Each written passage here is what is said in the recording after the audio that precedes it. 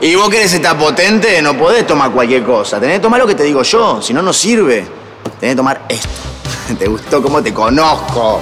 ¿Querés tomarlo ahora? Eh, no, esperá. Llegó el verano y tu auto lo sabe.